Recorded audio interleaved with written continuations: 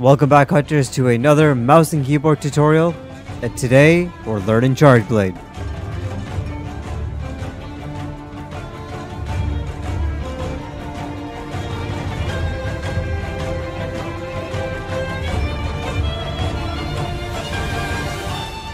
Charge Blade is one of my favorite weapons in concept and while in Rise it may not be the hottest weapon, it still has some amazing skills and twists which I find really enjoyable. Now this video is going to be slightly different than my previous tutorials. We're going to go over the basics of different playstyles and the key attacks and combos that you need to know for Charge Blade. On screen are the keybinds that I changed for my mouse and keyboard default so be sure to take a look at those. We'll talk about which switch skills and wire bugs match well together for Charge Blade's different playstyles. I'll have another follow-up video on builds and skills that you need for Charge Blade since there's a lot to cover in this one.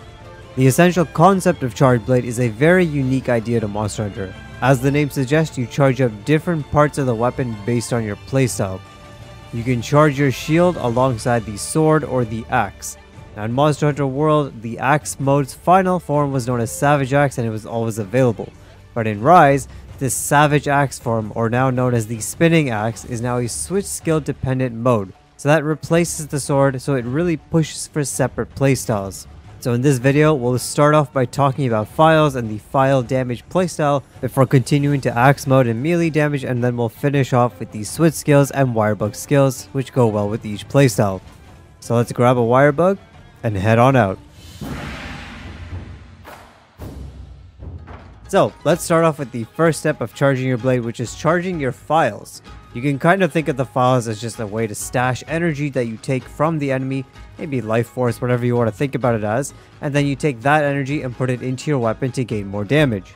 Similar to previous games, you can only charge your phials by getting damage with your sword. Now, general concept to keep in mind here is that the sword mode is used for you to build up charge and fill your phials, while axe mode is used to release that phial energy. Your phials change color as you damage the monster going from gray to yellow to red. Gray means that you have no energy, yellow means that they will fill up half your phials, and red will fill up all your phials in one charge. The easiest way to get to red from gray is actually just a single weak slash, followed by a heavy charge double slash, a spinning slash, and then finally another heavy charge double slash. Now some things to note about this combo. The heavy charge slash does take a moment to charge up, and you'll notice this by holding the right mouse button and watching your character's hand pull back. The moment you're fully charged is when your character starts glowing and the elbow is behind your back. Once you see that, it cannot charge anymore and you'll perform the fully charged double slash. If you release too early, you'll do a charged rising slash, which in my opinion is a waste because it has a similar long animation, but it does less damage and gives you less charge back. Now you might not be able to get all 4 hits in one go depending on the monster's movements. Generally speaking, you want to kind of fit these attacks in when the monster doesn't have big openings, so when they're moving around, because you want to fill your phials and have them ready for when you actually do get a big opening to do some DPS. Because of this, I want to quickly mention one attack skill here. If you are attacking the monster in sword mode and you realize you need to reposition or to dodge something, instead of just dodging, what you can do is a fade slash, which is performed by clicking any direction key that you wish to go and clicking right click. It's a quick dodge which will slide you in a different direction, but you can still attack at the end of it and then continue on with any other attacks to keep charging your phials. Now aside from the charging combo that I just mentioned, the light attacks does have a 3-step combo, but I rarely use it, it's much slower to build charge, it's just much more efficient to alternate light and heavy. Now once your phials are red, you have to perform step 2 to actually fill up your phials. Holding control and then quickly following it with right click will conduct this and they will appear white and filled. From here you have multiple options for damaging and we'll go through each one. But before that, I do want to mention that you can still do sword damage once they are filled and your phials again will go from white to yellow to red. If you use these phials and want to refill some but not all, you can do the phial animation while they're still glowing yellow and that'll fill them up. Additionally, if you don't use any files and continue to do sword damage, you will actually reach a point where you will overfill your phials and they'll start pulsing bright red. This causes you to bounce on all attacks your damage won't change, but you won't be able to perform multi-attacks because you'll be bouncing off of every single attack. So you always want to refill your phials to reset the charge buildup even if you don't use those phials. But the good news is that you pretty much should be using your phials at all times. So in this next section, we're going to talk about charging your shield, and then from there, we're going to branch out into either charging your sword or charging your axe. Now, in order to charge your shield, this can be done from two ways. The first is following the filling of your phials, you can go right into the combo to charge your shield, which is clicking both mouse buttons at the same time, twice. Then you finish this off by clicking Control to proceed into an element up round slash. Now the timing here is very important. You can spam left click and right click together as much as you want, but hitting control or the special action button must be timed when your blade reaches just behind your head. Additionally, you can look out for when your shield starts to release steam. These are cues that when you should be clicking control in order to charge your shield. The indication that your shield is charged is that it'll start glowing or pulsing red. The second method is if your phials are already filled but you had to dodge or you didn't get a chance to charge your shield, you can do the exact same inputs following any single attack. Now once your shield is charged, you can do multiple things at this point, one of which being charging your sword. To do this, repeat the same animation of filling your phials by clicking Ctrl plus right click. The second time though, press and hold left click on your mouse and that will initiate the sword charge animation. It takes a second while your sword needs to fully retract into your shield. Once it does, you can let go and your sword will be fully charged with phial energy. Now every sword attack that you do after that for about a minute will have some bonus phial damage without actually using any phial energy. Additionally, your sword will no longer bounce at any damage point on the monster, making it much easier for you to charge up your phials from just about any position. Sword mode charged is a nice way to get some bonus damage in. It's not the highest efficient DPS method, but if you're in a tight situation where you can't get any of the big attacks out, charging your sword is always a good idea so that you are still getting that extra little damage in, which might lead to a knock or stun or something. It's a good habit to have that every 2 to 3 times that you reset your phials you should recharge your shield. In an ideal hunt with Charge Blade, your shield should always be charged because it gives you the ability to charge your sword as well as it gives you other moves like Guard Point which absorbs damage and protects you, as well as also granting you other attack moves which we'll talk about later on. Now, your sword being charged is a way to get some extra damage in small situations, but when you have a big opening like a knock or a stun, Charge Blade has one of the most satisfying attacks in Monster Hunter known as the Ultra Element Discharge. And yes, for those of you returning from previous game, this is the Super Amped Element Discharge. They just changed the name for some weird reason. So I'll just stick to Ultra Element Discharge for the sake of consistency. Now this attack is a way to release all your phials in an instant. This is one of the main attacks for the phial damage playstyle. And this attack does require your shield to be charged up, which is another reason exactly why you should always have your shield charged, so you can use this attack on demand. Now there's two ways that you can execute this attack. If you're in sword mode, you start with the same inputs as when you would charge your shield. So click both mouse buttons twice, but unlike the shield charge, that's it.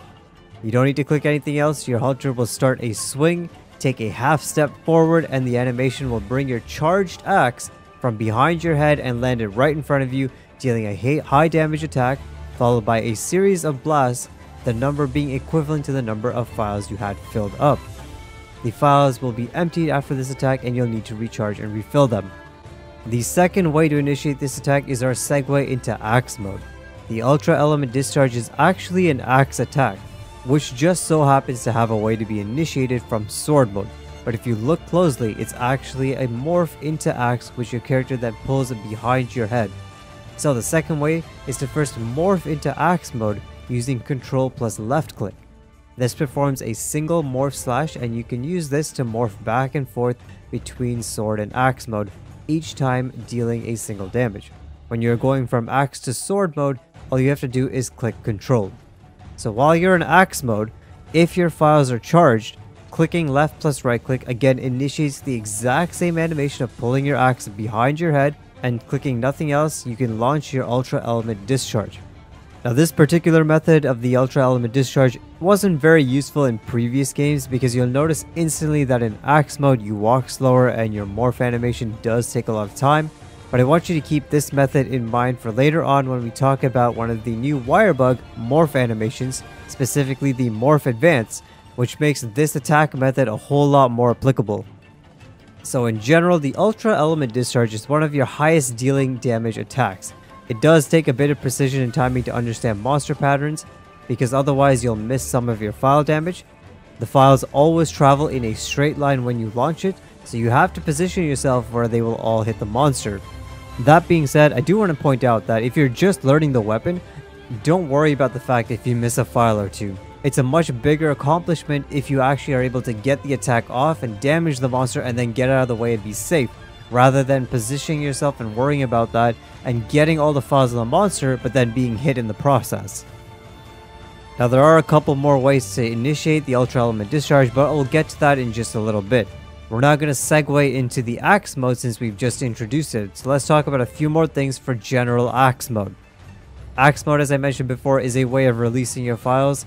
In Axe mode, hitting left click twice will perform a regular melee combo that doesn't use any phials, a rising slash, and an overhead slash.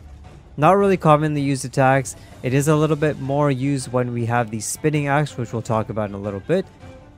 Now the last regular axe attack is a movement skill. While moving in any direction and clicking left click, it'll perform a dash slam.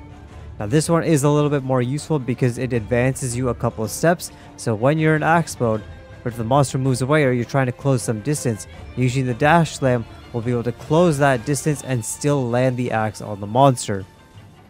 The more important attacks are the right click combos, which are the element discharge attacks. If you don't do anything beforehand, you will perform element discharge 1, followed by element discharge 2. Now discharge 1 is never really worth it since it's a single hit for a single phial with a long animation. Discharge 2 is the main attack where a single phial is used when your shield is charged.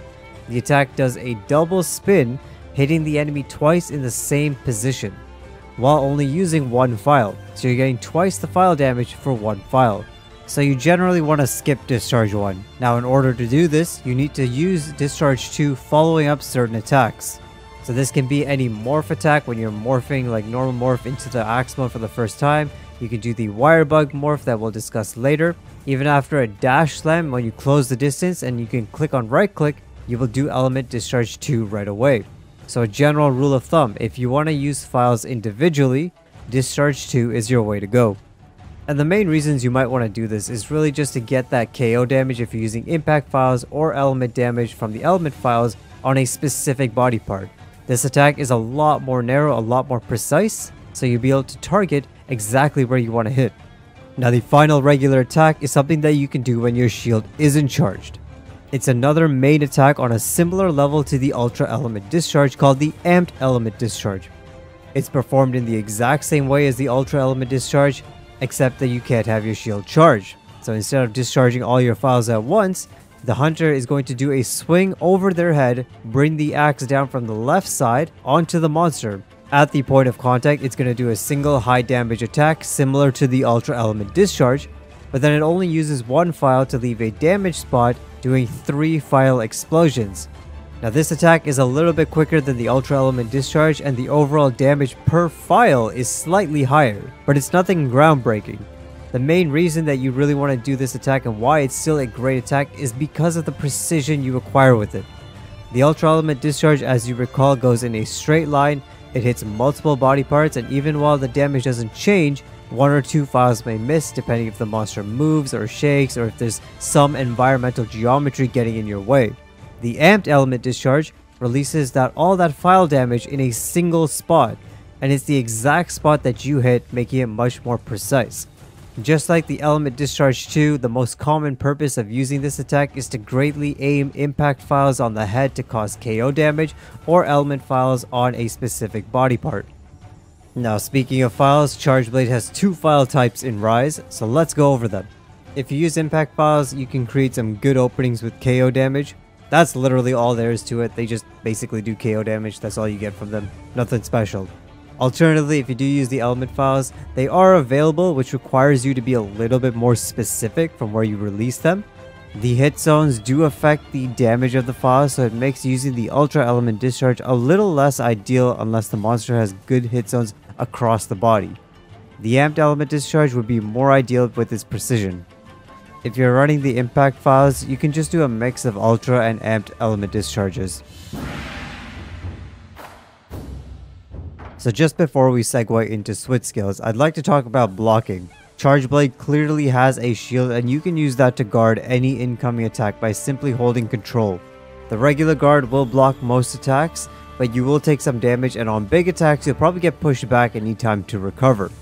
Having guard up skill will reduce the damage that you take for most attacks, but Charge Blade also has certain attack animations that have an automatic guard function that comes with added bonuses.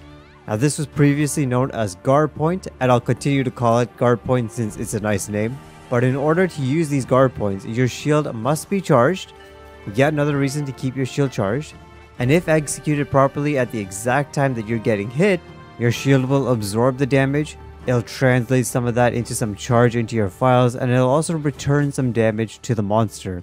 In addition to this, you also get significant reduction in the knockback of certain attacks, so bigger attacks might not push you back as far as they usually would. So here's an example of me on the Tetradrone in the training room. If I just use the normal block with guard level 4 on the build, I get knocked backwards and take a little bit of damage. Now if I do the same block at the same position, I initiate the guard point, you can see that I automatically block the attack while I was morphing. I take no damage compared to the regular block, and my knockback is so tiny that I can get right back into the fight. Guard pointing is one of the most crucial skills you can learn while using Charge Blade because of this last part. It creates a lot more window of opportunity for you to return damage or charge your phials or just generally give you space to position better. After any successful guard point, you can also immediately initiate the ultra or amped element discharge, skipping half the animations and just going straight into the attack. The efficiency of using guard point into your high damage attacks is the key difference between good and bad charge blade gameplay. Monsters will exhaust or take a moment to reset themselves after an attack. Usually this would not be a big enough window for you to do a whole combination, but if you can guard point and immediately attack, you can get many attacks off in situations where you normally couldn't. So let's break down the three specific guard point moments. The first and foremost is the simplest one when you're morphing from sword to axe mode. As your hunter puts your sword into its shield, that whole animation is the guard point window. The second your whole blade starts moving together as the axe, the window has closed, so you have to aim to make sure that you get hit while you're inserting the sword. Now the opposite more from axe to sword also has a guard point but at the end of the animation instead of the start. Morphing from axe to sword does a quick spin. The protection window opens up when your character pushes the shield forward and ends when your character starts to loosen up and stand straight. Now this guard point does have a slightly tighter window compared to the previous morph and you also need to account for the spin. This means you need to be a little bit more preemptive and expect the attack to come and give yourself that space to do the spin before you get the guard point up. Now this guard point is more so important when you're playing in axe mode and you need to morph back to charge your phials. You can morph back, get a guard point that'll start charging your phials and then you can get a couple of quick hits to just fill up your phials. Now the final guard point comes after the spinning element up round slash. The main time you really use is to charge your shield, so this timing window begins after that final spin when your character again pushes the shield outwards. You must time it so that you land the spin when you get hit. This guard point is a little more tricky because you have to use that spin and account for it and it's much longer than the axe to sword morph, so you have to be very preemptive with it. In my opinion, this guard point is only useful when you're trying to prepare to launch your ultra or amped element discharge but the monster does something you didn't expect, you can cancel your attack and just go into the shield charge animation while applying guard point to the front to give you protection. Mastering guard point is really the top tier, the high tier of like charge blade gameplay. It gives you protection from a lot of attacks, opens up a lot of windows for you to return some damage or gain or charge your phials, and when those big openings present themselves, you are ready to deal some massive damage. If this is your first time playing Monster Hunter or trying Charge Blade for the first time, don't sweat it if you can't nail guard point in the first try. It's a very difficult skill to master, it has a very narrow window, and you have to combine that with really understanding the monster. So using it against monsters that you aren't familiar with is going to be very tough. But I'll throw in an incentive for you guys. The coolest thing you can do with guard point is you can actually kill monsters with it or even knock them. I've done it a whole bunch of times and with a little practice I'm sure you guys can too so if you do let me know in the comments below. So those are the basics of Charge Blade while focusing phial damage. So in Rise we do have switch skills and wire bugs that change up the gameplay. So let's take a look at some of these switch skills that introduce a variation to the standard Charge Blade gameplay. The first one is a switch from the condensed element slash to the condensed spinning slash. Now this essentially replaces your ability to charge your sword with charging your axe. If anyone ever played World before, it'll look very similar to the Savage Axe mode. The spinning slash, when charged, enables your axe to do multi-hits with any axe attack that we previously mentioned. The charge on your axe actually lasts indefinitely, and by that I do mean that it literally never runs out, unlike the sword, which ends in about a minute. The catch though is that like unlike the sword, where you can switch between sword and axe or even store it away and it'll still be charged, the spinning axe must remain out. The second you put it away, morph, or even wirebug dodge, it loses its charge. Now the controls to charge your axe are the same as the sword charge, but the one key difference is that you don't need a shield charged. However, if your shield isn't charged, your blade will lose damage because the axe contains the shield. So you'll notice the axe is charged when it starts making a hissing noise and spinning furiously over your head.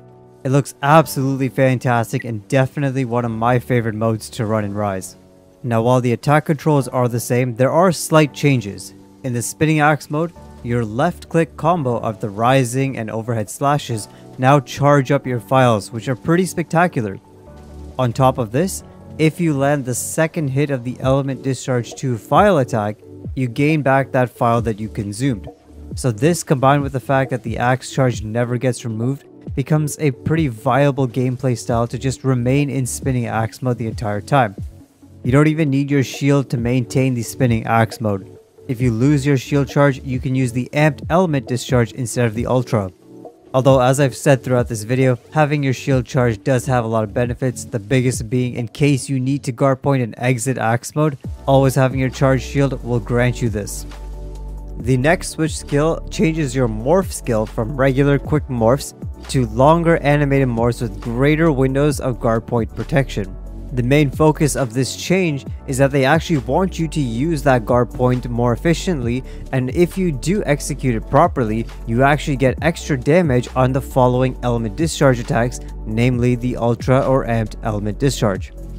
So if you're just learning guard point, this could be very helpful for you to understand the window of protection. This is definitely a skill that everyone should be using because once you're able to master guard point, the bonus damage that comes on the ultra or amped element discharge is super key and very helpful for any hunt. Even if you're using the spinning axe mode, this switch skill is pretty useful. Remember before when I was saying switching from axe to sword took a lot longer because of that spin? Well, when this skill is enabled, the axe to sword morph changes so that your shield is out at the beginning of the animation instead of the end. That means that you can guard points immediately if and when you need to. That works out really well with the spinning mode because as it is, your movement is slowed. So if you need some protection right away, this switch skill has got your back. Alright, and that's it for the regular switch skills, guys. Let's go ahead and talk about the wirebug skills. So Charge Blade has some really neat wirebug skills, and honestly, I love all of them. The first one is the permanent skill, which is the Morphing Advance. Now this is a specific forward direction movement skill which pulls you in a direction your wirebug is in. As you move forward, it'll always morph you into axe mode. Additionally, you are also granted iframes as you move forward, so as long as you're in that forward animation, you avoid any single hit attacks from the monster. This skill is extremely useful for closing the distance and repositioning for most of your charge blade attacks, Following this skill, you can go straight into your Ultra or Amped Element Discharge by clicking left click plus right click. If you're playing this with the Spinning Axe playstyle, you can use this Wirebug skill to move you around and reposition while your axe is still out, that way you maintain the charged axe. It is definitely a Wirebug skill that complements the weapon as a whole. Now the second Wirebug skill is the Counter Peak Performance. Now this is the ultimate guard skill which acts like guard point. As I mentioned before, guard point absorbs damage and gives you phial energy. Counter peak performance takes that to the next level and fills up all of your phials if you get hit while holding this counter out. The counter ties down your shield in a forward direction with the silk bug so you can't move for 2 seconds, but it blocks all forward incoming smaller big attacks. Multi attacks or ground attacks or anything from the sides you are not protected from so you have to be careful. Now just like guard point, if you're able to manage to block any attacks, you will be able to go into your ultra element discharge or amped element discharge, but the key difference is when guard point, you need to have your phials charged beforehand. With the counter peak performance, your phials could be empty, but the second you block, you're going to gain back all your phials, so you're guaranteed an ability to do one of your ultimate attacks right away. This skill also benefits the spinning axe mode playstyle as well. If you're out of position or you need to block an incoming attack, you can use the CPP and then you can actually hold left click and you will go immediately right back into the spinning axe mode. It's actually even better since it skips a lot of the long charging animation that you would usually do to charge your spinning axe and it just goes right back into it. Now, just gonna give my opinion here, this is a great skill, very useful for early on or very beginner users as well. But in my opinion, once you learn guard point effectively, additionally if you also have load shell skill at level 2, this enables you to fill your phials quicker only at yellow charge. So these two combined essentially adds up to the counter peak performance. So once you learn Charge Blade really well, you don't really need this skill outside of attacks that you're out of position for or a situation that is unexpected. Thankfully, the final Wirebug skill actually replaces the counter peak performance with the Axe Hopper. Now this is a very interesting skill in my opinion, very situational skill but very sick. It adds an aerial aspect to the Charge Blade Axe mode while enabling you to still conduct both your Ultra and Amped Element Discharge. Pressing middle mouse plus E will initiate this attack that sends you a Wirebug into the air and then pulls you up with it. Once you're in the air, you have three options. Number one being if you click left click, you do a simple jump slash, single hit, no phials used. Number two is using right click, you'll do a mid-air element discharge attack. Now this attack is the exact same amped element discharge as when you're on the ground, only a single high damage hit followed by three phial explosions at the cost of one phial. The final option, as you probably guessed, is to click both mouse buttons to initiate the Ultra Element Discharge. Again, the exact same as the regular, you need your shield charged for it.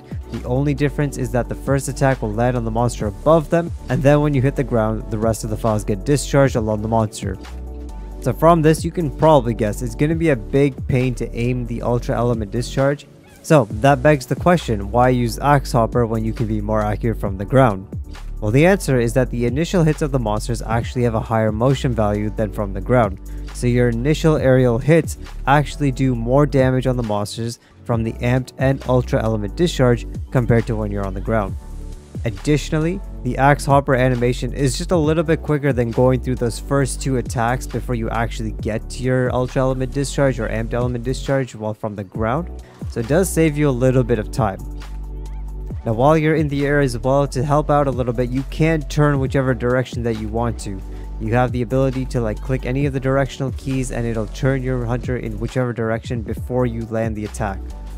It's a great attack in my opinion, it gets off multiple phial damages in a very efficient manner, so you'll definitely need artillery and load shells as your skills when you're using the axe hopper. Now something to be aware of though when you're using axe hopper is that when it uses phials, the blades automatically changes back to sword mode after you complete the attack.